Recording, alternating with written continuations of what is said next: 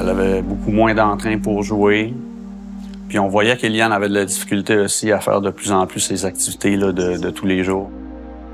Parce qu'elle a eu une malformation cardiaque. C'est que vers l'âge de 7 ans, on nous a spécifié que ça allait prendre un nouveau cœur à Eliane pour qu'elle puisse euh, continuer à, à faire sa vie. Euh, Eliane devait rentrer aux soins intensifs. Puis que si on n'avait pas de nouveau cœur, euh, on savait pas combien de temps est-ce qu'il lui restait à faire. C'est, c'est pas comme d'aller euh, acheter quelque chose au magasin. Fait que ça a été très difficile, là, mais euh, écoute, euh, on s'accroche, il y a l'espoir. Quand ma soeur va à l'hôpital, mamie.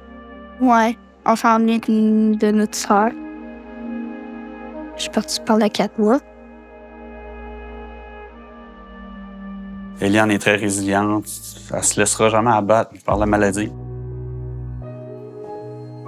Puis quand ils viennent te dire, Hey, on, on a un cœur, là, ça, hein, tu crois pas, là. Hum. Tu dis, hey, ça se peut-tu, enfin?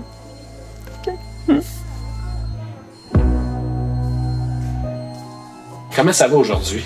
Euh, bien. Ouais? Ouais. Y a-tu une différence, là, avec ton nouveau cœur? Ben, ce que je remarque un peu, c'est que je suis, moins fatiguée. Je peux plus euh, bouger puis euh, faire plus de choses là, par euh, moi-même. Le logo est, vraiment présent. quand tu es aux soins intensifs, tu le vois beaucoup. tu sais. Donc, les dons, ils aident vraiment aux familles, puis ils aident à revenir en région. Il y a même des isolettes de transport, Opération Face Soleil. Donc, pour que l'enfant parte de Québec, ça se fait en avion, qu'il revienne à Rimouski.